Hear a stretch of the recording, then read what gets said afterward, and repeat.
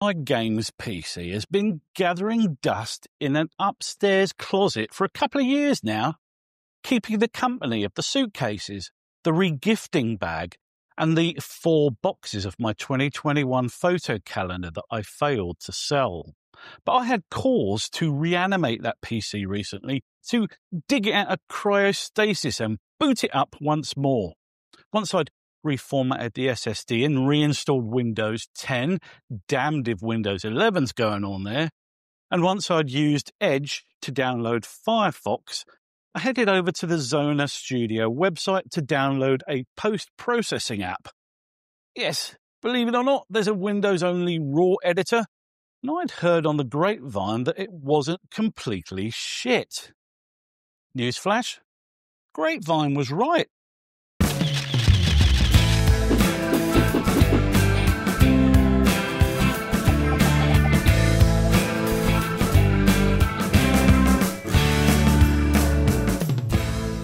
Okay, legends, you know the drill. Small print first so that we all know where we stand. This video is not sponsored in any way, shape, or form, and I'm not a member of Zoner's affiliate scheme or indeed any affiliate scheme. I downloaded the seven day trial version of this app and did my best to put it through its paces through their stupid seven day trial window. I don't censor my videos, and so if at some point I feel like a bit of robust Anglo Saxon language is called for, I'll use it. So if you have conservative tendencies, you should probably bear that in mind. That being said, here's the TLDR. Zoner Studio is a veritable kitchen sink of a photo editor and the most complete alternative to Adobe Lightroom that I've yet encountered. It has strong asset management chops with an endlessly configurable file and photo browser with filtering, quick search, batch rename, duplicate finding, grouping, auto stacking, batch filtering, and even an AI zoom tool for speedy editing. The built in panorama and HDR tools are decent, and there's strong print support too, with options for photo books, calendars, prints, collages, contact sheets, and even magnets. The rock solid digital asset management is backed up by an excellent raw engine with beautifully targeted sliders, comprehensive camera and lens profile support, and color grading. The only big feature gaps seem to be generative fill and AI denoising. There's a full selection of masks, both AI and traditional, AI sky background object and subject masks, and brush, radial, linear, color, and luminance masks on the traditional side. More importantly, those AI masks are accurate and fully supported by add, subtract, and intersect functionality. It is priced at $60 per year on a subscription only basis. You cannot buy it outright. I have to say that I think in this case the subscription is fair enough and the pricing is perfectly reasonable for such a capable app. I tested it on an aging 3.4 GHz Core i7 6700 PC with 32 gigs of RAM and an 8 gig RTX 3060 Ti GPU. And while that is certainly not a very up to date PC, it's not prehistoric. I did notice a bit of lag on the sliders and the screen refreshes. That slider lag is one of only two complaints I have about this app. The other is that it's not available on Mac OS. Those then are the bullet points.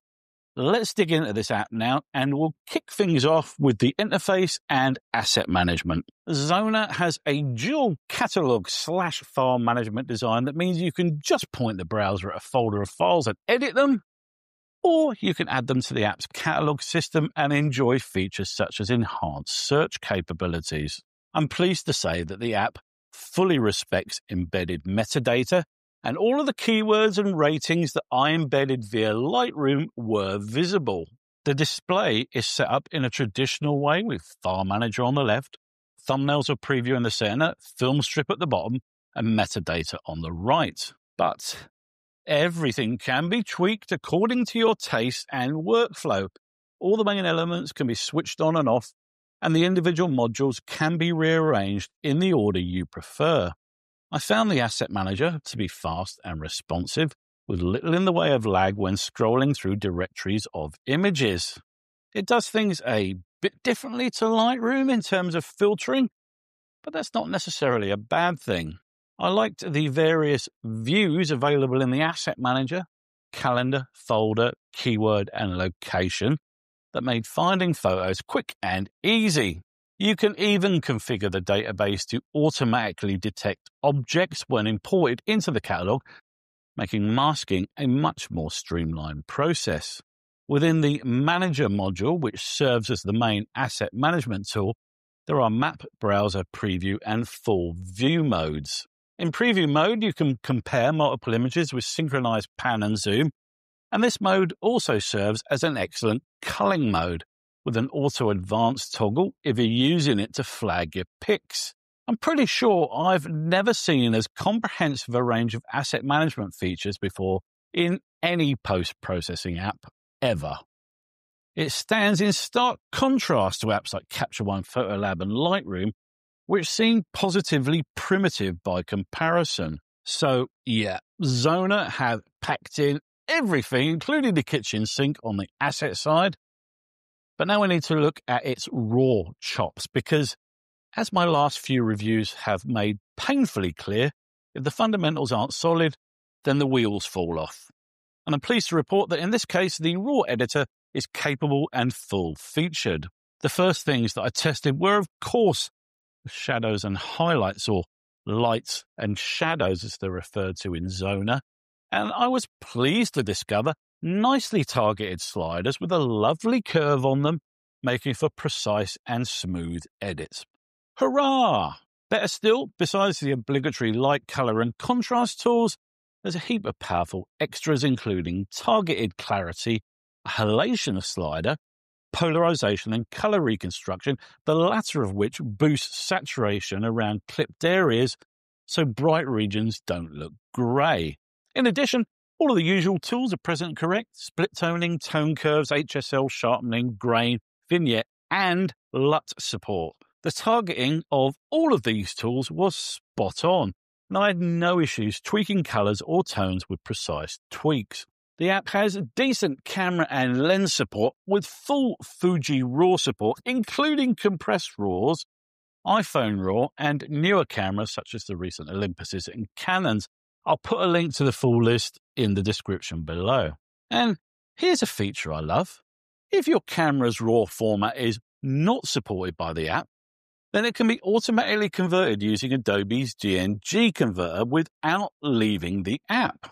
I've tested pretty much every raw editor on the planet at one time or another. And I've found that sometimes it doesn't matter how many features an app has, you just can't produce raw edits that you're happy with. And I'm pleased to say that that definitely wasn't the case with Zoner. I was able to quickly create pleasing edits on all of my test RAWs, including Canon, Fuji, Sony, and iPhone. These days, no RAW editor worth its salt can afford to ignore AI masking capabilities, and this was a feature that Zoner added to their app earlier this year. It already had a full selection of the traditional masks, including a radial gradient mask that doesn't, and this may shock you, DxO, have to be perfectly circular. In my testing, I found that the app's four AI mask types sky background, subject, and object varied in accuracy but were all highly configurable thanks to full and complete support for operator based modifications, add, subtract, and intersect. The AI Sky Mask did well on easy tests with clearly delineated edges, such as mountain ranges, but failed the old in between the tree branches test. Fortunately, you can compensate for the AI's inability to notice sky when it's behind a tree by using operators. Adding a luminance or color range is often a great fix for an inaccurate AI sky mask.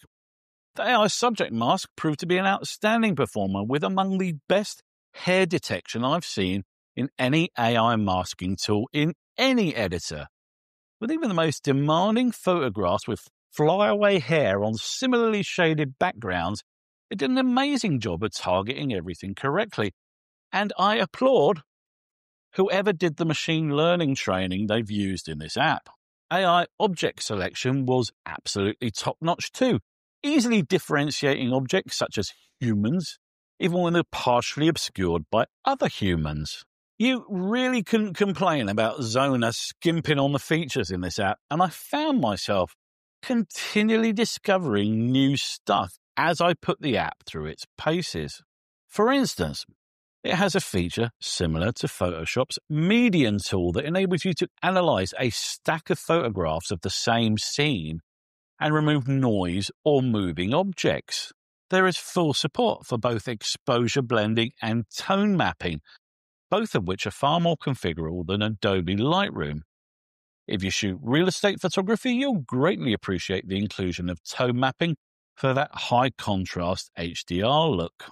The panorama tool, however, wasn't nearly as capable as the blending tool. It did only moderately well on simple horizontal panos and failed completely on multi-row panos such as 21 shot drone panos. It also took an extraordinary long time to fail to merge my panos, and even when it did succeed, there were banding issues where the frames overlapped. In October this year, Zoner further increased the AI capabilities of their app by adding an AI upscaler. I, of course, tested this on my usual low resolution test shots and found it to be tepidly competent has no options you can tweak. There's just width and height boxes and the method, which is either AI or not AI, and there is no face recovery. In my test, the upscaled images were quite severely smoothed, and there was substantial loss of detail in faces, text, and pretty much everything else. And while some of those faces looked like punched pizzas, I didn't see any of the nightmarish generative deformities and hallucinated garbage which Topaz tends to sprinkle like jojoba dust at drum circle. It's not the worst AI upscaler I've used. That honor goes to Photoshop, but they really need to work on detail retention if they want people to use it for anything other than novelty edits. The TARDIS-like capabilities of Zoner Studio extend further than simple asset management and raw editing and extend into Photoshop like layer based editing, print, and video. The Photoshop like features are in the Editor tab, where you can add adjustment layers and apply effects, filters, or vectors such as shapes or text. There's a decent selection of effects such as tilt shift, high pass, pixelized textures, and borders, but most of the stuff just feels like novelty gimmicks to me and a waste of space in an otherwise excellent app. If you're working with a non-RAW file, such as a JPEG, then the adjustments menu could prove useful with levels, curves, color temperature, sharpen, and blur tools, along with fixes for noise, chromatic aberration, and vignetting. In the Print tab, you can find a range of project-based options which connect directly to Zoner's own print fulfillment services, I couldn't speak to the quality of those products, and anyway, the templates seem pretty restrictive. The options include a photo book, a calendar, and a canvas print. But I think the contact sheet is of the most interest because it's actually useful and enables you to output direct to PDF. There's also a video module, and that's all I have to say about that. Before I sat down to write this review, I decided to find out what other people were saying about Zoner Studio here on YouTube, and I was taken aback at the almost complete absence of content on the site. Being a Mac based photographer, I think I've got a pretty good excuse for having never discovered this Windows only application. But I have no idea what everyone else's excuse is. Are we all using MacBooks? Even more bizarrely, this app is 31 bloody years old. It started out life as Zoner Media Explorer in 1994. I was still going to raves in 1994. And it was then rebranded as Zoner Photo Studio in 2003. And it's quietly ticked over year after year with, I must assume, a decent level of profitability with the occasional review in computer magazines, but largely untroubled by anything as high profile as a YouTube review. In any case, lack of visibility being damned, I'm pleased to be able to shine a bit of light on an app that offers a properly viable alternative to the better known asset and RAW editors. As I worked my way through all of my regular tests, I was endlessly discovering new features and thoughtful touches that developers built in. It's almost like they gave a shit about their app and about the people that would end up using it. And that experience was in stark contrast to the software I've been testing lately, which feels like any moment a massive middle finger's going to appear on screen and a sample voice will scream, fuck you! What further differentiates this app from its competition is that the multitude of features do not come at the cost of quality. I've regularly criticized developers who add feature after feature to their apps all of which suck and which suck at the expense of the basic features like, you know, raw editing, which also sucks. But here's an app that seems to have almost every feature ever conceived, and the vast majority of them are great. Zoner have got the core elements correct. The raw editing tools are refined, responsive, and do exactly what I expect them to do. Are the results as good as something like Photolab or Capture One? No, not quite. Nobody's yet got close to those apps' secret sauce, but Zoner's edits are still excellent. There's decent support for cameras and lenses, and if there isn't support, then they've thoughtfully included a workaround. The asset management is as comprehensive as it gets but it's also endlessly configurable, which means you can use it the way you like, not through some enforced workflow the developers lock you into. The AI masking is excellent, let down only slightly by that sky mask and its blind spot for tree branches. But let's be honest, all the other apps struggle with that one too. As I look at the runtime of this video, I realize I haven't even mentioned batch EXIF editing, the granular sorting tool, the AI close up tool, the intelligent stacking tool, the map mode with track log capabilities, the batch filter, the virtual copies tool, the export window, perspective control tools, the nicely designed crop tool, the smoothing brush, the liquify mode, the AI presets, the AI auto mode, or the fact that the histogram has six fucking modes. Yes, this app will cost you an annual fee. It's subscription only. But as I said earlier, I think it's entirely justified in this case. Based on the release notes, this developer has a well locked in schedule with meaningful updates and genuinely useful new features rolled out on a quarterly basis. For 60 bucks a year, just 5 bucks a month, legends, I have to say that Zoner Studio feels like a bargain. It's great to see a developer going the extra mile for their customers and delivering an app that quietly achieves levels of quality that even the mighty Adobe haven't reached yet. It would be awesome to see this app ported over to macOS so that us Apple tragics could get in on the action too. But in the meantime, Windows users, you know what to do. And that will do us for this look at Zoner Studio for Windows.